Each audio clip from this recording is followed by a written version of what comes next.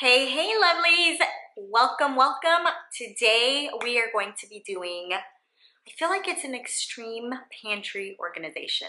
I'm not sure yet how it's gonna go, but um, you can see that there is just really no rhyme or reason to the pantry. I mean, it is just insane. Since moving in um, and unpacking boxes that had non-perishable items, um, I really just put everything into the pantry. So um, a lot of times we were just rushed and just having to buy groceries when we got the fridge in. Uh, there just wasn't any method to organizing because I didn't have a lot of my organization canisters, things like that and unpacked. So really it was just anything I was unpacking just to make space for it because we also didn't have our island. Um, I just was sticking in the pantry. So we're at a point right now where things are getting shuffled in the pantry. We have no idea what we have. We have no, um, things are not in, in its own little section. It's really taking up a lot more space than it should just because it's not organized. So you can see that it is definitely it is just a mess. I can't even say it's a hot mess because it is just, I mean, it just is a mess. It is beyond that stage. Um, when we're cooking dinner or even just meal prepping, it is at the point where we just don't know where anything is. So I am going to be organizing the pantry today and something that I feel like is just gonna give me a little bit more peace with this whole move-in process, especially now that renovations are done. Okay, so this is what we are working with. So the pantry is definitely a good size pantry, but it is smaller than the one that we had in Colorado. And how we accumulated this much stuff, I have no idea. But a lot of the stuff that was non-perishable was actually packed up and so um, as soon as I was unloading boxes um, I just basically shoved everything in here and so you can see that there is, there's cans back there, there's jars. I mean, there's no rhyme or reason to any of it. There's coffee, there's rice there, but guess what? There is rice. Snacks there, kind of like vitamins and workout stuff there, but then we also have vitamins down here. I mean, we are just, oh, and then I was sticking everything down here that was um, like storage, things like that. So I have to kind of pull everything out and set it into, I think sections is going to be the best way to do it. Um, that way I have like a clean slate to work with. So.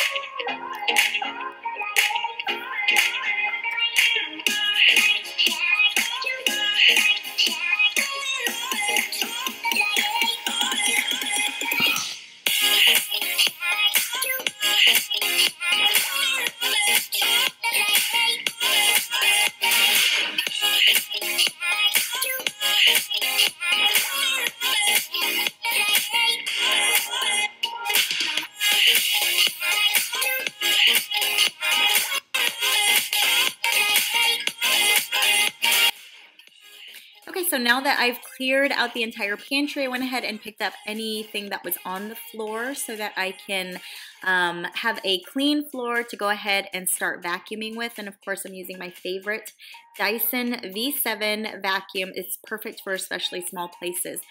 You guys, this is my favorite.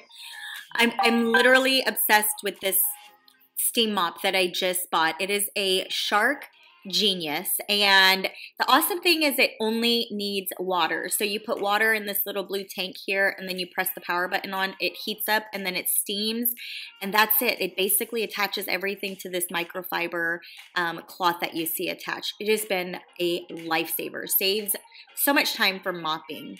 So after I went ahead and gave this pantry a quick vacuum and mop, I went ahead and straightened out any of these liners that I had already placed on. And if there was anything spilt on it, I went ahead and cleaned it up.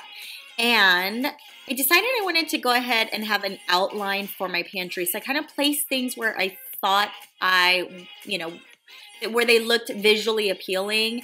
And so at least that way I have a baseline to work with. So now, the hard part is actually purging a ton of stuff and then basically consolidating everything. And I found these awesome spice jars on Amazon. I'll go ahead and link them in the description bar, but I just loved them. They're so perfect as far as the size. And then they came with these cute little um, tabs that you can write on.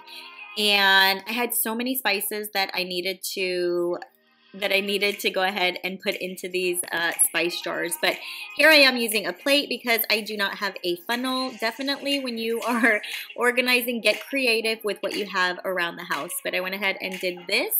And then you can see the mess that I was working with. I mean, I kind of felt like at this point, the halfway uh, point, I was getting somewhere. It started to look organized and put together, but still tons of stuff on the floor and on the island. Okay, so we are making progress. I know it doesn't look like it, but we really are. It was so much more cluttered. And I have my helpers. Say hi, girls. Um, I'm Jordan. And I will show you what they are doing for me. They are putting all of the seasonings and labeling them.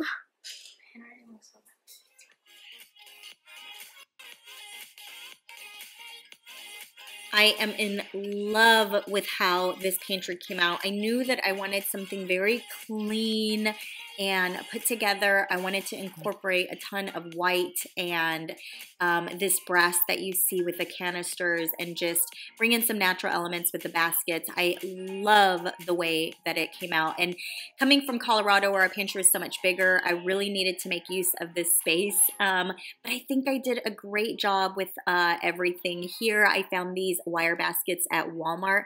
So I just used that to put the lunch pails in. And then I also used these canisters for snacks. So I left all of the snacks on this bottom shelf because I wanted uh, the kids to get to it very easy. And I just got really creative with putting some packaged snacks in here.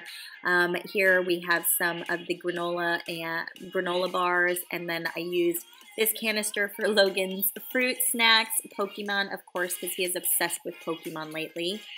And then the large canister I used to put some other snacks like cookies, things that I can put into his uh, lunch box pretty easy, but also that are hidden so that that's not the first thing that he grabs when he goes into the pantry.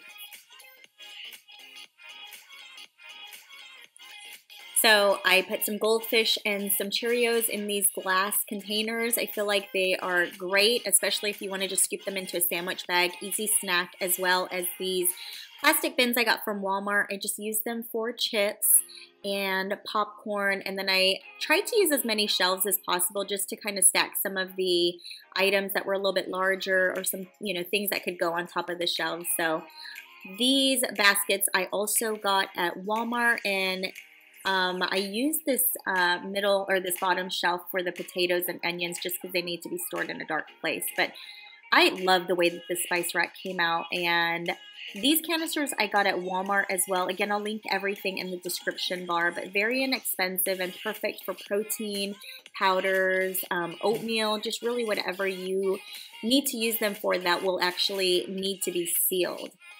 So you can really do anything with your pantry uh, storage, especially if you have canisters um, and really just uh, sealable jars for, like I said, flour, cereal, things like that. But the end product I absolutely love. I looks so different compared to what it was uh, before, but it is so much cleaner and put together, and I still have a ton of space to add to it. So I hope that you guys enjoyed this quick little pantry makeover. As always, thank you, and I will see you in the next one.